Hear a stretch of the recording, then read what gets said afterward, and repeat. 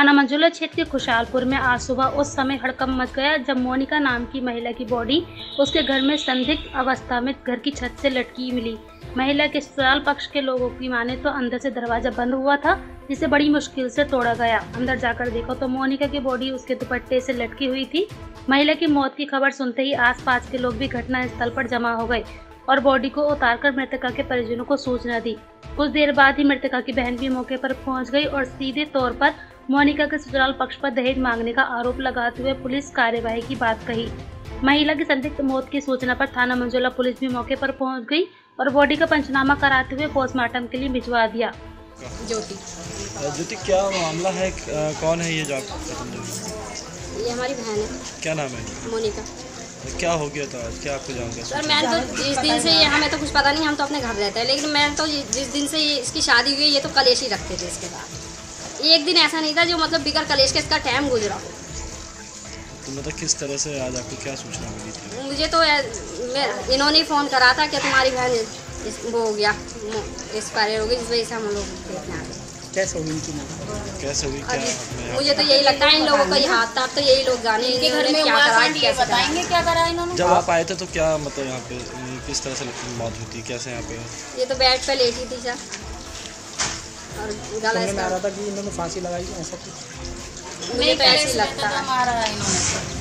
इन्होंने सबने आपसे पंद्रह दिन पहले मांग रहे थे खुद ही ये फैसला करने को कह रहे थे और ये उन्होंने खुद ये कहा था कि हम इसे छोड़ देंगे। क्या परेशानी रहती थी इन्हें? क्या शिकायत परेशानी इनकी तो आए दिन लड़ाई थी इनकी कोई परेशानी कोई जड़ भी नहीं है और इन खाने के चक्कर तक मारा है।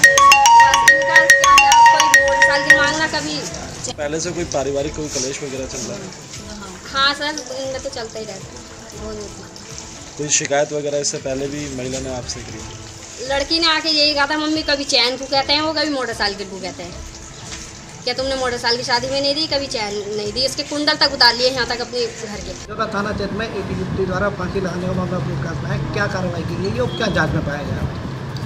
हाँ, एक सूचना मझौला थाना क्षेत्र में प्राप्त हुई जिसमें एक महिला द्वारा फांसी लगाने की सूचना पर थाना पुलिस और मेरे द्वारा व पुलिस अधीक्षक नगर महोदय द्वारा घटना का निरीक्षण किया गया। जिसमें एक महिला, जिसकी शादी पिछले वर्ष हुई थी, उसका शव मिला, जो कंधे से लटका हुआ था। फ़ील्ड यूनिट को बुला के उसकी पूरी जाँच कराई गई, जो शव को कब्जे में लेकर पंचायतनामा पोस्टमार्टम के लिए भेज दिया गया है। उसके मायके वालों को सूचित कर दिया गया है। वो लोग आ रहे हैं उसे तहरीर प्राप्त करके और अग्रिम विधि में कार्रवाई की जाएगी।